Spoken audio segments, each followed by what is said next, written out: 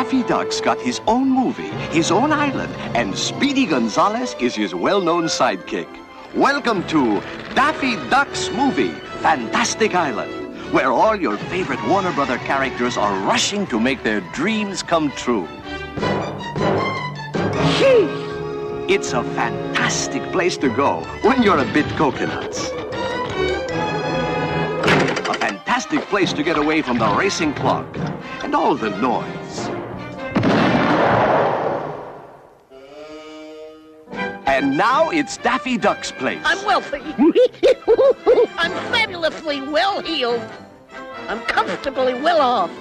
It's a fantastic little island with all your cartoon friends where wishes come true for a price. 500 big ones will get you a single solitary penny. Plunk it into the well and watch your fondest dreams come true. Join Daffy and Speedy as they make everyone's dreams come true. No kidding. Daffy Duck's movie, Fantastic Island. It's the best of classic cartoons along with great new animation and featuring the world's most lovable characters. Daffy Duck's movie, Fantastic Island. Boy, my boss, he plenty smart in the cabeza.